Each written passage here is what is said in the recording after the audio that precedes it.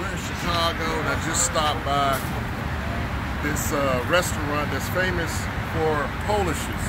So it's, it's Jim's original, world famous Polish sausages. And uh, let me see if I can get one out of here, show you what we're working with here.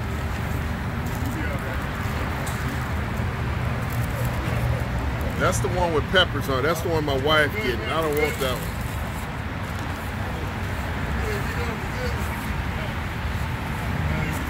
Get fries with it also. But we're out touring the city. You got those grilled onions on there. Oh man, that's gonna be good. Here we go, taste test. Oh yeah. Chicago, baby. Uh-huh. That's it. Jim's Maxwell. Maxwell. Off of Maxwell Street. They moved over here now. We're going back to the uh, hotel. Big out.